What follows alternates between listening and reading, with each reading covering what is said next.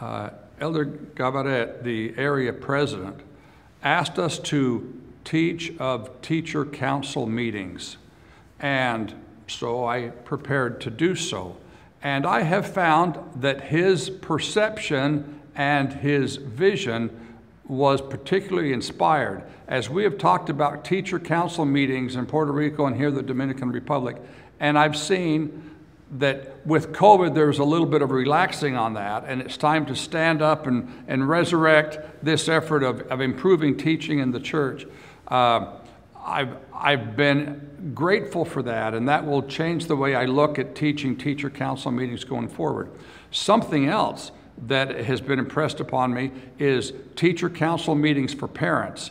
That if we're saying that it is centered in the home and supported in the church, and we're only teaching and trying to improve teaching in the church, that's a huge mistake because we need to be supporting and teaching and encouraging better teaching in the home. And those are teacher council meetings for parents.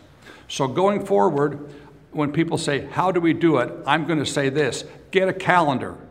Look at your whole calendar and you have four quarters. Figure out what Sundays you're going to have teacher council meetings. Figure out what Sundays you want to have teacher council meetings for parents. Plan it for the four quarters of the year. Take it to ward council, get their approval, and then start working on what you want to teach in these various times.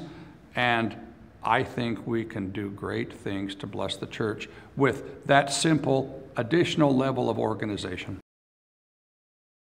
which I had never considered before. I had never thought about how to actually do it. Before, it was more talking about, well, we need to do this. And now, when I've been here, it's been, good brother, it's not good enough to say, well, this is what we ought to do. It's how do we actually do it? And I think we start with a year calendar and we look at it. And maybe it ought to be in paper so we can see it all at the same time. That's just my thought. Anyway.